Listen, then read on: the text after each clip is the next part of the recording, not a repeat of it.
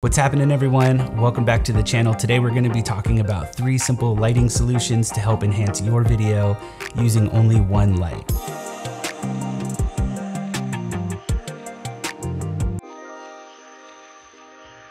I'll give you three examples today, and at the end, we'll have a bonus tip of how you can get the most out of your one light setup. I will share with you what light I recommend buying if you're just starting out and wanting to buy your first light. I'll also be sharing with you a list of gear that I would recommend you buying if you're wanting to invest in your first lighting setup. So make sure you stick around to the end. So with all that out of the way, let's get into it. The first lighting setup that we're gonna be talking about today is just the simple key light. You'll be surprised with the results that you get with using only one light if you just have a little knowledge on how to use it. So what's cool about this lighting setup, you can light up your subject's face while also lighting up the background a little bit. This technique best works when you have a blank background, maybe black or gray, and you kind of are getting more of a moodier feel. So what's nice about this setup is you really don't need much else. As long as you have a background like the one I have, preferably darker, um, so that it, the light has more of an effect on the background. And if you have texture on your background like I do, it helps even more. Uh, but what's really cool about this light is that it's super simple and it only requires one setup. If you don't have access to a parabolic softbox like this one,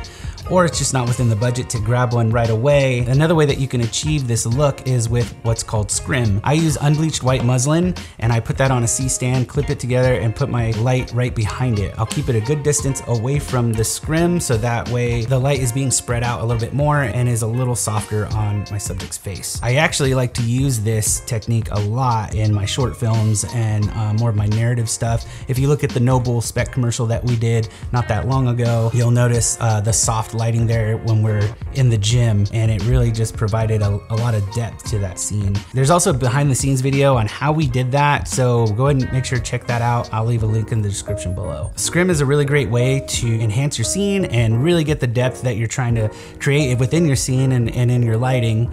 And it's very inexpensive, which we'll get to a little bit later in the video. However, if you, you don't have access to Scrim or it's unavailable or you just need something right away, another way to achieve this look would be just to use a frosted shower curtain or a white bed sheet. There are plenty of examples of this all over the internet, so make sure you can check that out. But yeah, these are just a couple ways that you could do it. If you have a white bed sheet, you could totally do it. If you have a shower curtain, set it up. I mean, honestly, just, just use what you have and, and make your film practical lights. So one way to enhance this setup is to use the practicals in your room. If I were to turn this tube light off and just use the practicals behind me, it would still add some depth, give me a little bit of hair light, and it would, it would be a great look. So please excuse the audio. I'm in our common room right now and it's not soundproofed yet. Um, but we're getting there. But anyway, as you can see, the practical light behind me is uh, lighting up my shoulder and this part of my beanie and my face here to kind of separate me from the wall behind me. So here's an example of the same shot with just the practical light on so that way you could see what it's doing in the background. This is actually a really great vlogging setup. I would, I would use this if it wasn't for the audio, I'd totally use this. And the coolest part about it is that it's just with one light, so it's super easy to use. So setup and tear down uh, is simple. It could add a lot of depth to the scene, so that's one thing to consider. So one other way is to use daylight or window light. Daylight is a great way to add depth for your scene without too much setup and that'll fit any budget because it's free. One example would be to place your subject in front of a window and then you can use your lighting setup behind them as either a filler light or motivated lighting. All of these techniques are great. However, the one thing that can't be beat is daylight. If you have great cloud cover like I do right now, or if you're shooting at the end of the day or at the beginning of the day, like I am right now, uh, here at the end of the day, blue hour, uh, then you're in good shape. But if all of these other techniques fail, or if all else fails, just get outside and turn on the camera. So here are a couple of tips when working with daylight. As the day goes on, the light continues to change throughout the day and it can be really hard to control and maintain the same look. Just a little bit of a shift in where the sun's positioned in the sky can really drastically change the look of your scene. And so you really wanna control that lighting as much as possible. So here are a few ways that you could do that. One is to take that scrim that we had talked about earlier in the video. Place that on a C-stand right in front of the window. If you don't have a C-stand, you can just use tape. I use gaffer tape here, but if you don't have that, then you could just use duct tape, tape it to the wall. Be careful though, because duct tape can peel off the uh, paint on your walls and you might not want that. Using scrim in front of the window like that really helps control that lighting and gives you a really soft roll off if you position your talent in the perfect spot. If you don't have access to scrim or you need to shoot the subject with uh, the view of the window in the frame. One way you can combat this is to either shoot in the morning or in the evening. This is when the sun is lowest, of course, so you're gonna have much less harsh lighting on your subject. My favorite time to film, if I need to do this, is uh, during blue hour because it's gonna give the perfect soft lighting and I really just like that moody look. So those are just a couple tips and when using daylight, let's move on. And now we're finally at the bonus tips. Here are a few things that I've learned over the years and still use today when I'm lighting a scene. I'm gonna be mainly talking about you know, a cinematic kind of look if you're looking to shoot a short film or even for your vlogs this would work or just to add more depth to your to the lighting in your scenes always shoot on the shadow side unless it's not appropriate. For example, if you're shooting, you know, a makeup commercial, you probably don't want a shadow side. You want everything to be even.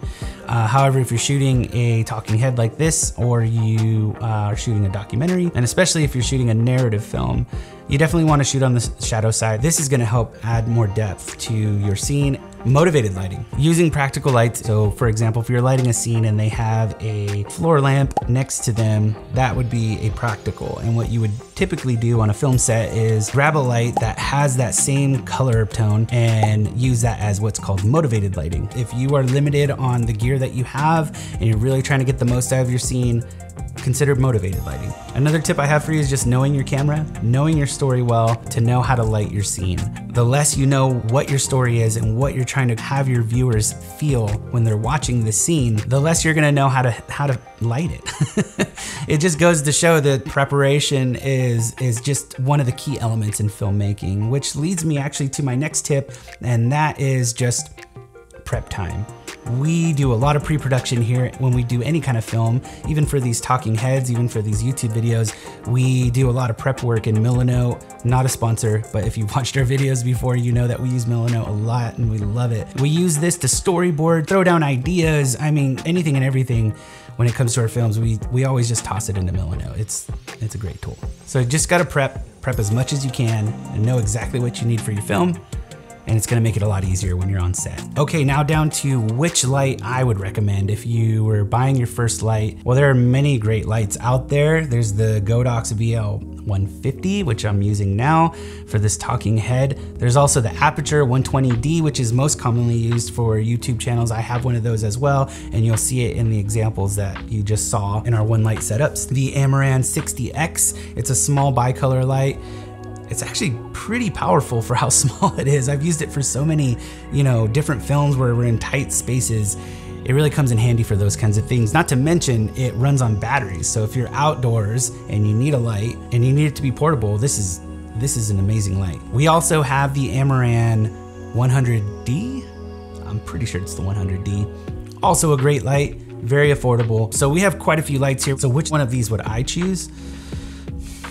If you're just starting out and you're on a budget and you want a great lighting setup for a really good price, I definitely would just go with the Amaran 60X the bicolor one. It's not as bright as the 60D, but it's actually extremely bright for how small it is. It's also very portable and it can fit on most stands and it's also bicolor. So you can go for, you know, a fire look or you have a couple people around a fire pit, you can light them up, doubling that as your key light and your special effects light, which I think is really cool. It's also very easy to use and you can connect it to the app where you could do so many other things with it. I believe that this light, right now it's on Amazon for $199 such a great deal for a really great light. So here is a quick list of some of the gear that I would buy if I was just starting out and I needed a full lighting setup. The Amaran 60X at $199 US a C stand, which I would recommend. You can get a, um, a much more inexpensive lighting stand. However, I do recommend investing in a C stand. If you're gonna buy a C stand, invest in one, a nice one. The last thing you want is for your C stand to be hanging over a subject and it breaks and somebody could potentially get hurt. But these can go for anywhere from $130 to $215. The reason I would recommend one of these C stands is because there's just so many things that you could do with it. Plus, you could put accessories on it and also double that stand as maybe your mic stand. If you do buy a C stand, make sure you buy a sandbag to hold it down so your light doesn't, you know, you could also buy more of a budget friendly kind of stand just to start out. These are great too. You could buy so many good ones on Amazon. They go anywhere from $35 to $85 Again, I would just recommend buying the $85 one if you can afford it, or somewhere in between that, maybe a $50 one. You really get what you pay for with these kinds of things. I also recommend buying a modifier for your light because this is gonna help in many types of situations. I recommend getting some sort of softbox, whether it's a parabolic softbox, much like what I'm using here. You can also uh, use what's called a lantern softbox. You could use that for just lighting up a whole room if you have a bunch of people and you need to light all of them up evenly. These modifiers can go anywhere from 90 $99 to about $220 US on Amazon. And then if you're gonna go the route with Scrim or you just wanna add that to your lighting kit, I get that on Amazon. Uh, for about 10 bucks. So those are my tips for getting the most out of your one light setup. If you liked this video, if you learned something, please give it a thumbs up and subscribe if you haven't already. And I'll see you in the next one. Thanks for watching guys. Peace.